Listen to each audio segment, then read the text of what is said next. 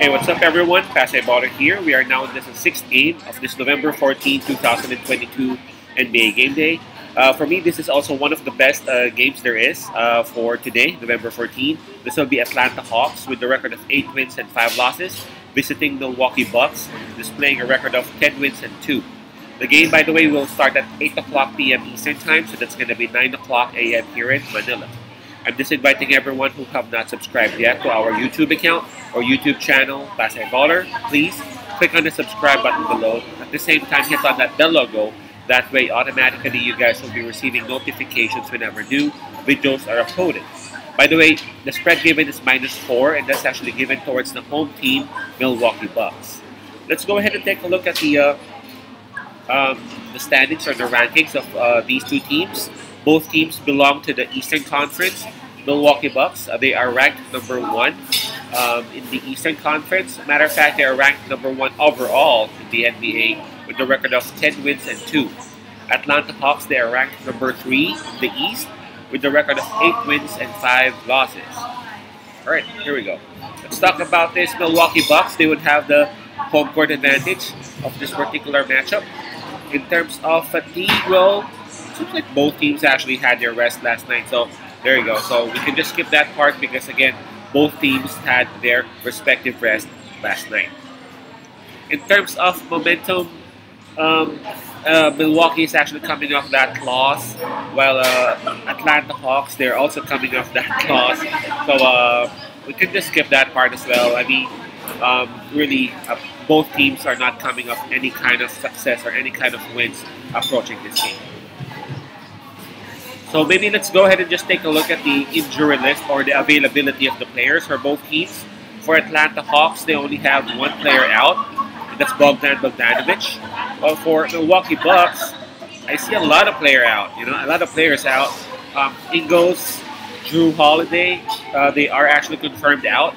But the, the good thing for Milwaukee Bucks is that um, Giannis, along with uh, who's this? Uh, uh, Grayson Allen are expected to be back on the lineup of this particular matchup. So, not sure with uh, not sure with Middleton and Connaughton though, because they're listed as um, game time decision or questionable. But I've read uh, some articles and they're saying that for Giannis and Grayson Allen, they're expected to be back.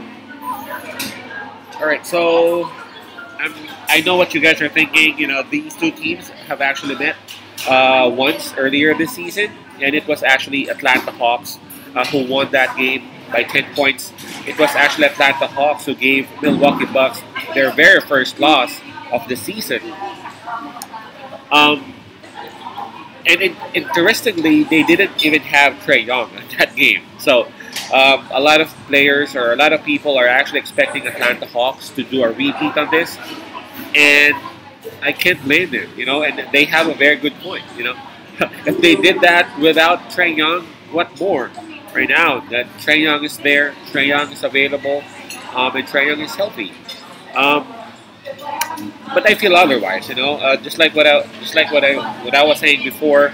Normally, if this is the case, uh, most of the times I actually pick um, the the, um, the the losing team of the previous matchup to win the next game especially if it's Milwaukee Bucks, especially if Bucks will be at home, especially if Giannis and Grayson Allen will be back.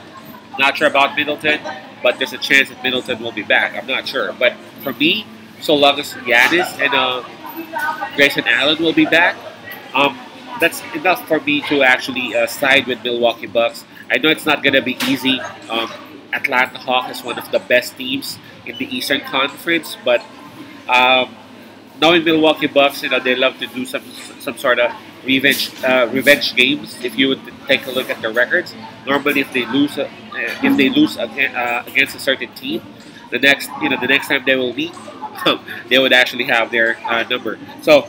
I'm actually siding with Milwaukee Bucks on this with the minus four on it, even even with the minus four, and even if Trae Young is actually playing, and even if a lot of players are actually out for Milwaukee Bucks, I feel like you know, um, it will be close and maybe Atlanta Hawks may have the lead, but towards the end of the game and towards the end of the matchup, it will be Milwaukee Bucks who would actually win the game and cover the spread.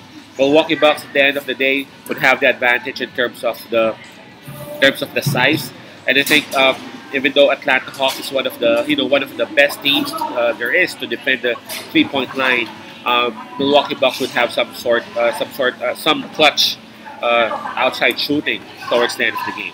So my pick would be Milwaukee Bucks minus four. Again, that's Bucks minus four. Peace out. Love and God bless.